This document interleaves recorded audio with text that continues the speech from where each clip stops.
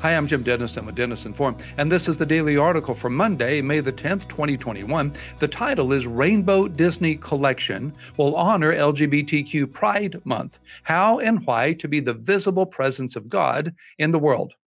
Let's begin with some good news. You didn't get hit by falling rocket debris yesterday. Remnants of a Chinese rocket landed in the Indian Ocean on Sunday. Most of its components were destroyed upon entering the atmosphere. Parts that survived reentry crashed into the ocean west of the Maldives, a small island chain south of India. However, we don't need threats from space to endanger life on Earth. One of America's largest pipelines was shut down Friday after being hit by a cyber attack. The next day, three bystanders were shot in New York City's Times Square when a man arguing with other people fired wildly into the crowd. One of the victims was a four year old girl who was toy shopping with her family and was hit in the left leg. Speaking of children, the Walt Disney Company has unveiled the Rainbow Disney Collection, designed to honor the annual Pride Month in June that celebrates the LGBTQ community and movement. The catalog of apparel and toys features t shirts, Mickey Mouse ears, mugs, and even baby apparel, all adorned with rainbows. This is just one way Disney seeks to introduce children to LGBTQ ideology. The 2020 Disney Pixar animated film Onward had a minor character who was a lesbian. Pixar's short film Out features a gay lead character, and the Disney Channel cartoon series The Owl House features a bisexual main character. In 2018, Cartoon Network featured a same sex wedding proposal on the animated series Steven Universe.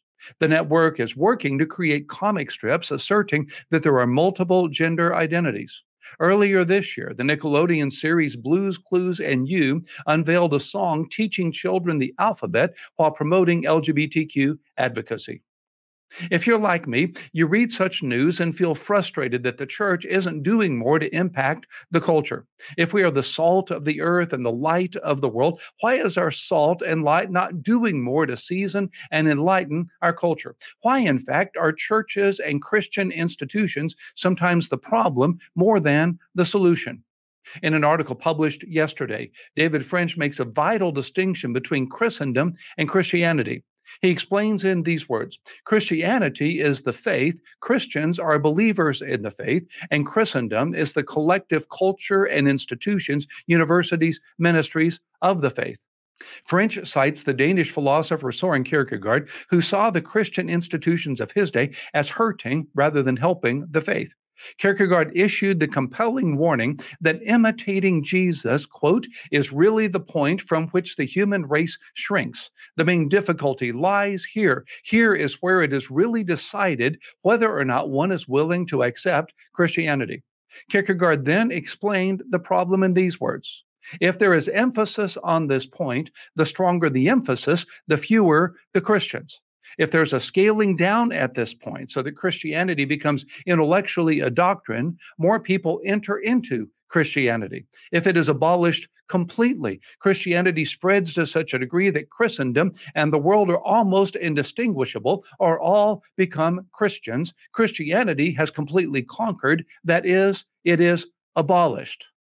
In other words, we can make the imitation of Jesus into doctrines about Jesus and then build institutions to proclaim these doctrines, but we should remember the warning of James 2:19. You believe that God is one, you do well, even the demons believe and shudder doctrines and institutions that do not lead people to know and imitate Jesus personally will never change the culture. That's because the culture changes when people change, and people are changed not by our words, but by God's Spirit. People tempted by LGBTQ attraction and ideology are liberated not by protesting against Disney, although we should clearly stand against unbiblical morality, but by the transformation Jesus brings to a life yielded fully to Him for people being tempted by other forms of immorality in our broken culture? The answer is the same. Zechariah 4 6. Not by might nor by power, but by my spirit, says the Lord of hosts. A 2,000 year old marble head of Emperor Augustus has been discovered in a town in Italy. It was originally part of a statue towering at least six feet seven inches tall.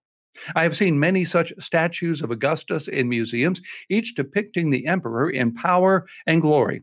Now, contrast these statues with the earliest image of the Savior born in Bethlehem when Augustus ruled from Rome.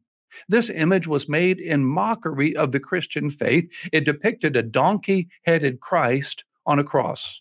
Other early images made by Christians show Jesus as a shepherd and a healer. Not until the fourth century do we find images of him ruling in authority. This is not because his earliest followers knew Jesus to be anything less than King of Kings and Lord of Lords. Rather, their depictions call us to serve our King by serving others. The more we love Jesus, the more we will love those he loves, and he loves everyone. The Holy Spirit uses changed people to change the world. The apostles could impact the Sanhedrin in Acts 4 by their preaching because their lives had been impacted by the truth they preached. Paul could call multitudes to Jesus, as for instance in Acts 22, because he had been transformed by Jesus. Churches and institutions can call our culture to imitate Jesus to the degree that those who comprise these churches and institutions imitate Jesus. If you and I will meet with our risen Lord every day in worship, submitting to his spirit and asking him to manifest the character of our Lord in our lives, he will answer our prayer. If, like Jesus, we will seek to serve rather than to be served, our Lord will use us to draw others to himself. In his book, Telling the Truth, Frederick Buechner speaks of the visible absence and the invisible presence of God in the world. I would add a third category the visible presence of God in the world through the people of God in the world. So here's the question Whom will you serve today?